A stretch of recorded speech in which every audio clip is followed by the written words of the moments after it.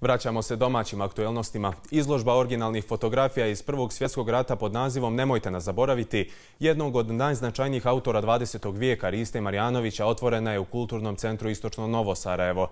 Autor izložbe je Branislav Stanković i Narodni muzej iz Šapca. Priredili su oko 60 autentičnih fotografija na kojima je prikazana četvorogodišnja borba srpskog naroda za slobodu. Izložba će biti otvorena do 8. maja.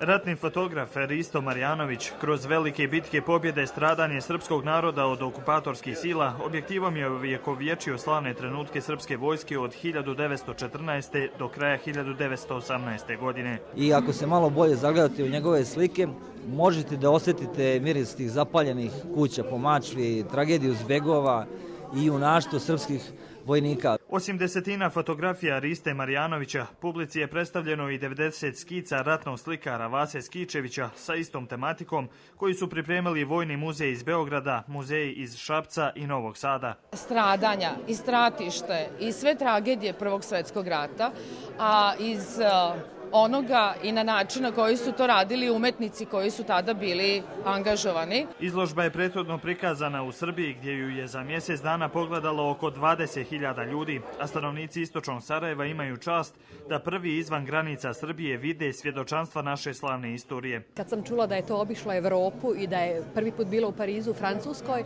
onda ja nisam mogla da ne dođem. Za nas značajno da znamo šta se dešavalo u prošlosti.